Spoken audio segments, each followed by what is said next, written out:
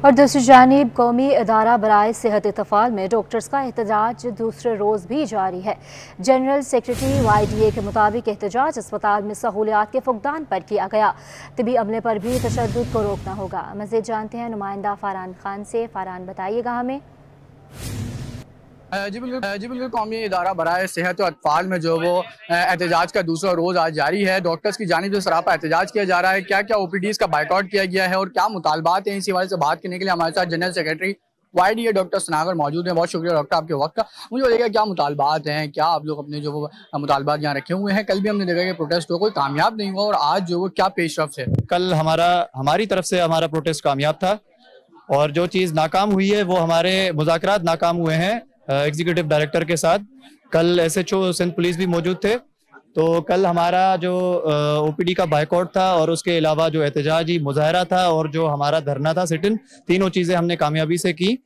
जहाँ पर मुजाकर की बात आती है तो हमारी जो डिमांड्स थी, हमारी चार डिमांड्स थी। एक हमारी डिमांड ये है कि 23 सितंबर 2024 को अस्पताल के अंदर तशद के तीन वाकयात हुए, जिसमें फीमेल डॉक्टर के ऊपर भी तशद किया गया मेल डॉक्टर्स के ऊपर भी तशद किया गया। अस्पताल का सामान तोड़ा गया, तोड़फोड़ की गई। बाकी बच्चे, मरीज़ बच्चे जो थे, उनकी जान जान को खतरा पेश आया।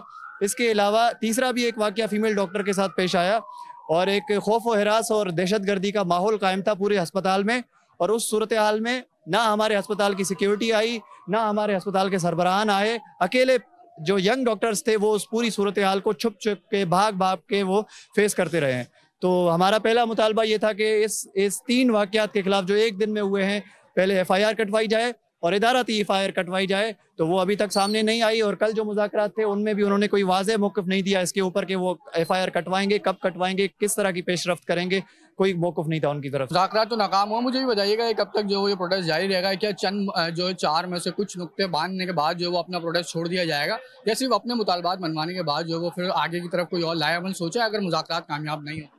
देखें काम तो हमारा जो अस्पताल का है, सिर्फ़ ओपीडी हमने बंद की है। उसके अलावा इमरजेंसी हमारी चल रही है। हमारे डॉक्टर्स बर्डन को, क्योंकि यहाँ पर जो एहतजाज करने डॉक्टर्स आए तो बकाया जितना भी बर्डन है, वो हमारे वार्ड में खड़े हुए डॉक्टर्स के ऊपर है। तो ये सारी चीज़ें हम भी नहीं चाहते कि ये एहतजाज जो है, ये धूप में खड़े होकर हमारी बहनें, हमारा जो डॉक्टर्स हैं, वो इस चीज़ को फेस करें।